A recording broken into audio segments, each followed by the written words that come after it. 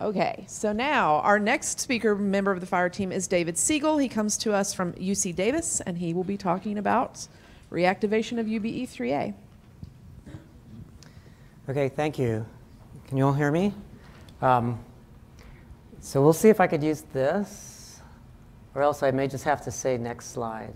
Well, I need to point it that way. Oh, look, it works. Okay, so uh, what I wanted to talk to you about today was just a, a, few short stories about some work that's in progress in our lab today, and, uh, and give you an overview of, of how things are going. So um, as many of you know, um, we've been trying to develop a kind of transcription factor therapy for Angelman syndrome.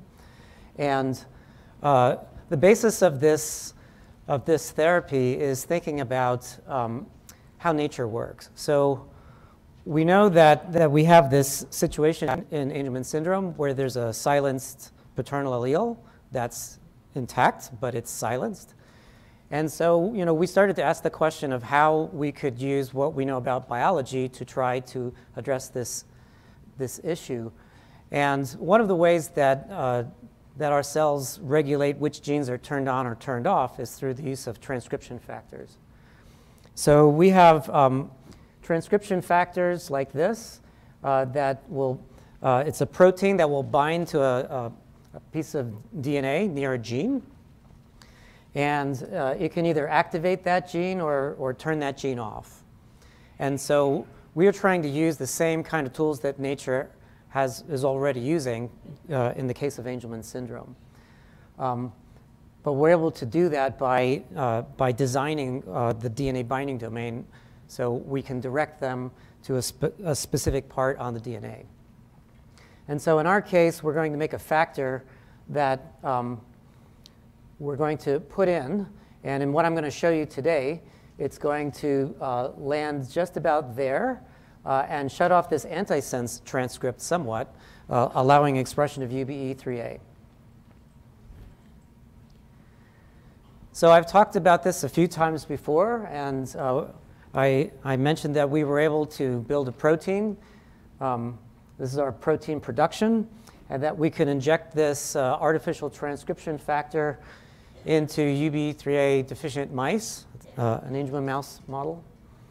And um, in this case, I'm just showing you, I'm just cutting right to the end here to show this data that I think I've showed uh, several times before, where uh, we can inject this um, into the mouse, not directly into the brain, but into the kind of body of the mouse. It's able to cross the blood-brain barrier, enter the neurons in the brain. And here I'm showing um, uh, UBE3A expression is in green here. So this is hippocampus and cerebellum uh, sections from uh, a wild-type mouse that expresses UB3A. This is the Angelman syndrome mouse not expressing UB3A here. And then uh, when we put in our therapeutic protein, we can see that the levels are, are turned on, kind of more like wild type. Uh, but if we put in a protein that's just a little bit different in its DNA binding domain, uh, you don't see the UBE3A coming on. And then we can quantitate that. We can show uh, the protein levels with the so-called Western blot. And we could see that when we treat them, we also see an increase in the UBE3A protein by that method as well. So um, we know that we have the ability to turn this gene on in the brains of mice, and that's very exciting. We also know that it has a fairly widespread distribution in the brain. And I think this is really um, an important uh, benefit of our process, that we were able to successfully not only introduce this that it crosses the blood-brain barrier, but it also distributes very widely in the brain. So at the time that I was starting this work, um, it looked like other kinds of vectors, like viral vectors, had a somewhat more limited distribution. But I think um, maybe uh, Kevin in the next talk will offer his insight on that at the current state. But let's say uh, in this case, um, we were getting some very nice distribution that you could see uh, this intense red signal in brains that were treated compared to this kind of duller uh, in brains that were not treated. But um, we were also able to measure the, the kinetics of, of how the protein came in. Um, because there was a fluorescent protein on, as part of our protein, uh, we were able to do live animal imaging, and we could actually see the fluorescence uh, through the, the, the, skulls of these uh, mice that have shaved heads. So this, the mice are alive. um, but we just shave the head, the, the hair, so that it doesn't interfere with this fluorescence signal. And then we have a machine that can actually read uh, when the protein is, is there in the brain by measuring that fluorescence signal. And so we're able to measure um, how soon it gets in and how soon it gets out. And basically what we found is that um, uh, it has a peak of, of uh, after we inject it, it gets into the brain fairly quickly. But then after 24 hours or so, it's almost all out. And so, you know, it's, we know that it has activity, but it doesn't have a very long activity. And so this has kind of set up uh, an important challenge in our research that we're trying to address this year. So the concern is that, um, you know, if there's a relatively short duration, uh, you know, we would inject, maybe we would get some level of UBE3A reactivation, but then it would go down. And so to show that the picture that I showed before with all the, the brain tissue lighting up like that, um, what we did is we were injecting three times a week for four weeks. So that's a lot of injections, and that's a lot of protein as well. Uh, so it became very problematic, you know, to think about trying to move that kind of a, a therapy uh, towards clinical trial. So what we would really like um, is to have a more persistent effect, to have something where you inject it and it has a, a longer duration of action. Um, ideally, it would be great if we could just inject something once and then everything would, all the UBE3A levels would come up and we could just uh, walk away and not have to do retreatments. So how can we do something like that? So this is story number one. Story number one is about epigenetics. And again, our goal here is to increase the persistence of, uh, of, this, um, of this therapy. So in all the cells of our body, uh, nature has also provided us some insight on how to achieve um, persistent changes in gene regulation. And we know that just by studying life. So um, if we think about you know, this so-called central dogma of biology where DNA makes RNA and then makes proteins, you could think of the genome as a kind of library. So it has all the genes that we need in all cells of our body. But not every cell needs all those proteins. So for example, um, the difference between a, nerve cell and a muscle cell are the, the proteins that are expressed. And so if we think of the genome as all possible genes, um, any, any particular cell type might only express some of those genes. And the other genes, it kind of puts in long-term storage.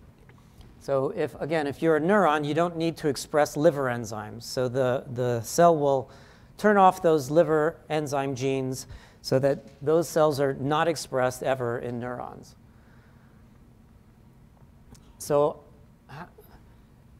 the way, the mechanism that the cell uh, keeps these genes repressed um, has to do with this field of epigenetics. So the DNA in our cells is always complexed with some other types of proteins. Um, and uh, these proteins, we could call them histone proteins or nucleosomes. These proteins uh, are always wrapped around the DNA, and they have little tails that come out from them. And um, these tails are chemically modified by other enzymes that are in the cell. And depending on what modification, what chemical group is attached to these proteins, uh, that constitutes a kind of epigenetic code. Uh, so we call that epigenetics because it's not it's, it's, uh, it's kind of wrapped around the DNA. This, this information is not encoded in the DNA, but it's uh, surrounding the DNA. So we call it epigenetic. And, and it's basically a, a chemical code, like I say. So uh, genes that are active have certain types of chemical modifications on those proteins. And uh, genes that are silenced have a different kind of chemical modification on their proteins that are wrapping around the DNA. So this constitutes the so-called epigenetic code or epigenetic regulation. Now, through many studies, uh, the scientific community has identified the proteins that are responsible for writing this information or erasing this epigenetic information. And so now we can make uh, artificial transcription factors that take advantage of this information. And so uh, so in looking at it from a cartoon, um, it looks a lot like what I showed you before, but I can only tell you that now uh, this is not just is not going to just be affecting uh, the expression of the gene in a transient kind of way. What we're hoping to achieve here is, uh, is doing the same thing that nature does when it tries to shut down genes uh, in, a, in a persistent way. We're trying to use that same machinery now so that we can shut down this antisense transcript in a more uh, persistent way. And so again, we're going to make some artificial transcription factors that now contain some of these epigenetic modifying enzymes.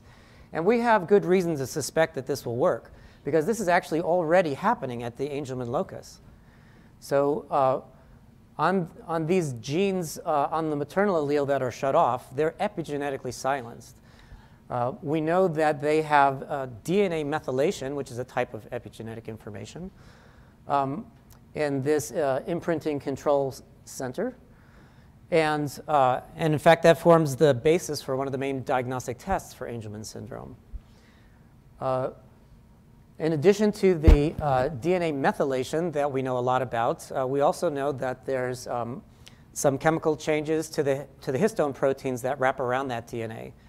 And uh, we should be able to kind of recreate uh, what's going on over here. And all we want to do is be able to get that to happen right over there. Now, Nature plays a very elegant game, and most of it we don't understand. But we're trying to do something that we think is much more focused. We just want to change the epigenetic information just right there. And uh, we think that we can do this with this targeting technology. So here I'm showing you some, some new data that came from my lab where we took some of these epigenetic uh, enzymes and attached them to our uh, artificial transcription factor and what this is showing is, um, so these are uh, cells, mouse cells. And in these cells, um, if this is the, the normal expression of this uh, gene, this actually the SNRPN gene, we're uh, kind of near where that antisense transcript is originating. Um, if this is the level that we see in an untreated cell, uh, when we put in our, um, our, our, that same repressor that I showed you in the earlier studies, uh, we see you know, maybe a half of the UB3A is, is, is uh, well, half of the transcription of this uh, gene has gone down. And, um, and when we use these epigenetic repressors, this group uh, out here at the end, we also see a decrease in gene expression, so that's good. And particularly this one that we're calling FOG1. Um, it seems like the repression is as good or, or better than the thing that I showed you before that was giving that great expression of UB3A in the brains of the mice. Now, what we're not showing here is if this is persistent. So I just got these results a, a, week or so ago, and now we're going to test to see if this is going to give a persistent effect that we could maybe just treat this area once. Hopefully, we've deposited some epigenetic information in that area, and now when our factor goes away, uh, the gene expression levels will just be set the way that we've set them. Now, this data is in cells, and we're going to look at persistence in cells. But of course, we also want to look at um, persistence in the mice. Um, actually, that's all I wanted to say. So, you know, uh, we're going from uh, like a, a, cell environment, which is, you know, very removed from the real situation. And of course, we have to, you know, then go back to our uh, tested in our, our preclinical tool, the mouse. So story number two is a different way of addressing the problem.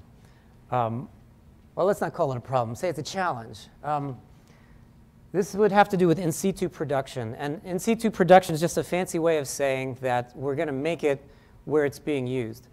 So one advantage that, uh, that you know, trying to use a protein as a therapeutic, we could call that a biologic, one advantage that this biologic should have over, say, drug therapy is that our bodies make proteins. Uh, so, you know, we don't make drugs. Drugs have to be synthesized and then they have to be introduced. Now, we're using our protein as a drug. We're making it someplace and then we're introducing it. But in principle, uh, we could engineer our, body or our mouse to make this compound, this protein, and then it should, you know, just be made where it's going to be used. Uh, so we should be able to use that to our advantage too. And I think um, you're going to hear uh, a little bit about uh, making UBE3A that way in the next talk. But for our transcription factor, uh, we've been looking into, into, several ways of how we could um, get the brain to make uh, this protein so that it doesn't have to be made and, and injected into the mouse on a regular interval, but it's just going to be made right there and then used right there. So one of the, one of the ways that I can, I can share with you a little bit about today um, is, uh, is a cell-based delivery. So the idea of a cell-based delivery is we introduce this into some cells, put those cells into the brain, and now those cells will, ex will uh, excrete that protein into the brain, and, uh, and then will be taken up by cells around it, or taken up by the neurons. So in this case, we're using uh, a cell type called a, a, mesenchymal stem cell or mesenchymal stem cell uh, because this is being used already therapeutically um, for some treatments. Um, particularly, uh, we've collaborated with uh, Dr. Jan Nolte at UC Davis, who's a, a recognized stem cell expert and uh, with expertise in, in these mesenchymal stem cells. And they can put them into brains and the cells will get in, they will migrate around within the brain, they will secrete uh, whatever they're designed to secrete and, uh, and affect the neurons there.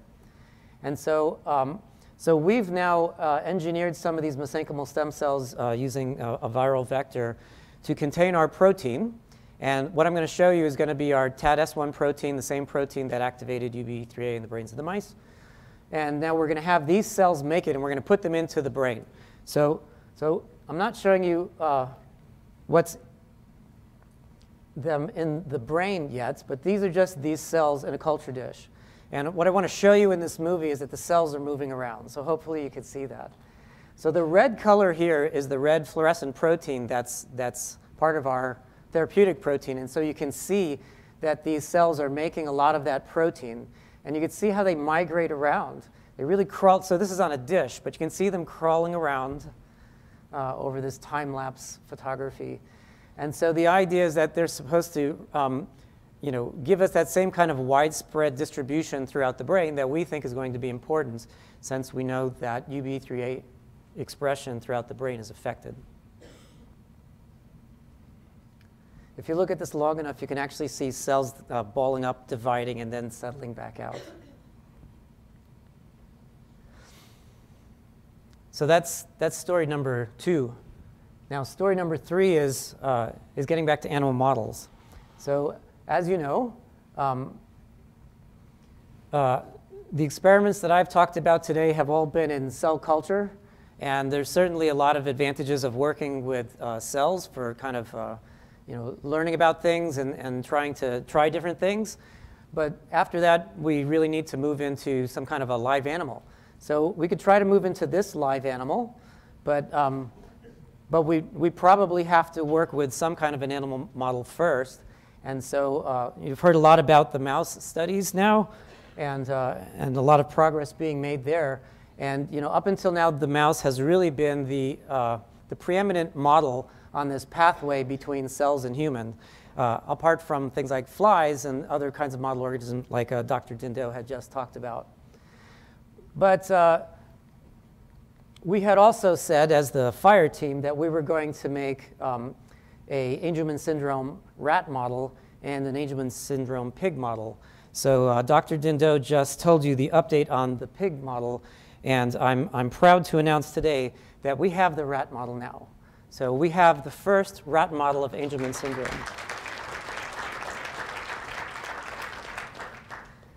So, uh, so the initial parts of this project were actually started uh, earlier, uh, a lot earlier this year in my lab, uh, designing the strategy for uh, excising this UBE3A gene. So we're using some targetable nucleases to do this. And uh, we're going to make cuts on either side of the gene and, uh, and just take the whole UB3A gene out on this chromosome. Um, and so we designed these parts, and then uh, we gave them to this company, Transposogen, to inject into mouse, uh, sorry, into rat embryos. So uh, the way these experiments are done is, you know, th these things are designed, and then um, they're injected into a one-celled embryo. Uh, so you, uh, it's the one-celled stage of the animal. And it goes in and it, it cuts out the UBE3A gene. And then uh, that cell can be grown up, uh, continued its development into a mouse. And so out of that, we're able to get animals, and some of those animals will contain the deletion that we're interested in. So the injections were done in, in June.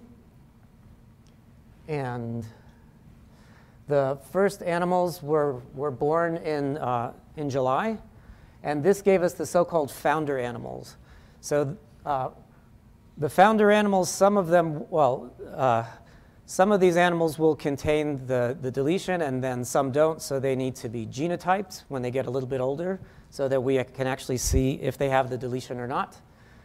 Um, so from some large number of, uh, of embryo injections that they did, then uh, some fewer uh, were born as the founder animals.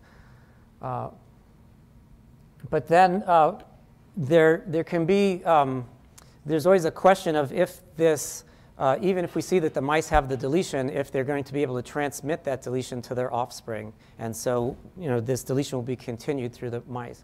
So they don't really consider the project successful until we get to the next generation, the so-called F1 generation, um, which are the descendants of this founder animals. And so the first F1s were born just in November, uh, or that's October, I guess. And then um, they had to grow a little bit before they could be genotyped, but now we know for sure that we have F1s that, um, that contain this deletion, which means that uh, now we're ready to start studying them.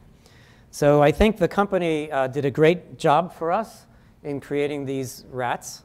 And now uh, it's our turn to take over and start uh, doing all this kind of phenotypic characterization that you heard about from Dr. Weber and Dr. Anderson. We're going to need to uh, measure the behavioral phenotypes as well as the neurologic phenotypes. And what we really need to determine early on is you know, how much better this model will be than the mouse model. Because, of course, a lot of work has already gone on into the mouse model. Uh, so it's the thing that we know. But uh, our hope, of course, as we have said all along, is that the rats should be a much more better cognitive model and behavioral model and uh, should allow us to advance our research uh, beyond what we've been able to do up to now. And of course, we want to make this resource as widely available as possible so that other investigators in the field can take advantage of this new tool. So with that, um, I just want to uh, point out the people in my lab who have done a lot of this work. So in particular, the people circled in green um, have worked on the Angelman, uh, our, our uh, artificial transcription factor therapy, particularly uh, Barbara Baylis, uh, Barbara Baylis, and, uh, and Ben Piles in my lab. And um, these are also some, uh, some people now that are uh, working on Angelman syndrome research in Australia from the time that I was in Australia on sabbatical before. Uh, we worked with FAST Australia to actually um, set up their first funded preclinical research study in Australia. So I like to think now that, my, that the sun never sets on my research program. I'm in touch with uh, Ingrid McIndoe every week by Skype. And so, uh, so we have uh, research programs going on, on on both sides of the Pacific. And, uh, and I'd also like to uh, thank all the, the funding, especially from FAST and the FIRE team. And finally, I just want to say if you ever decide to come visit my lab, we can show you the, the Jamie Berkeley imaging facility that we've dedicated uh, due to a, a, a grateful donation from that family. Thank you.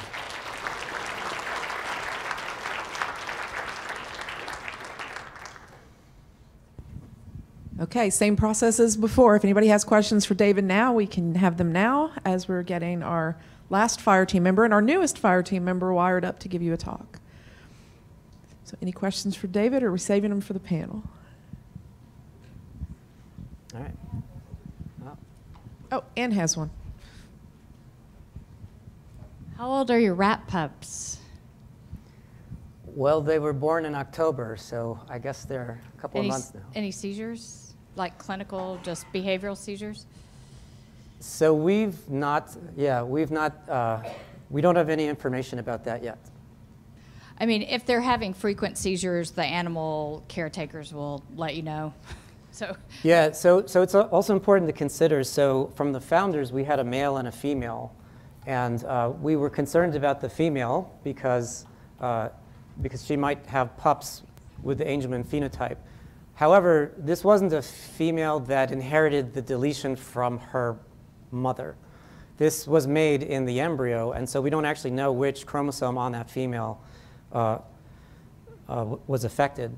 And so, so we don't, we, yeah, we don't have that information for the F1s yet.